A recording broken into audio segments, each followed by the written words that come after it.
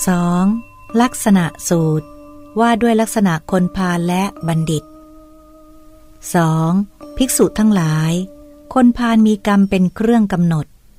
บัณฑิตมีกรรมเป็นเครื่องกำหนด ปัญญาเมื่อใช้เป็นประจำจึงงดงาม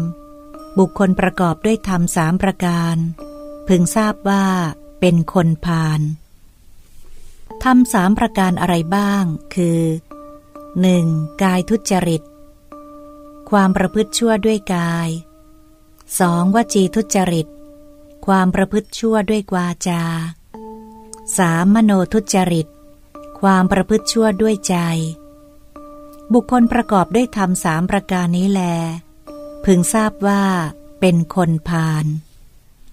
บุคคลประกอบด้วยธรรมสามประการพึงทราบว่า เป็นบัณฑิตธรรมสามประการอะไรบ้าง คือ 1. กายสุจริต ความประพฤติชอบด้วยกาย 2. วจีสุจริต ความประพฤติชอบด้วยวาจา 3. มโนสุจริต ความประพฤติชอบด้วยใจ บุคคลประกอบด้วยธรรมสามประการนี้แล พึงทราบว่า เป็นบัณฑิต เพราะเหตุนั้นแล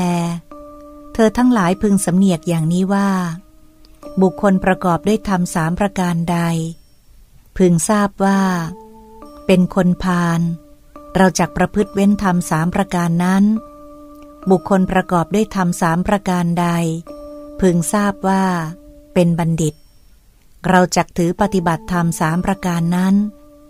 ภิกษุทั้งหลาย เธอทั้งหลายพึงสำเนียกอย่างนี้แล ลักษณะสูตรที่สอง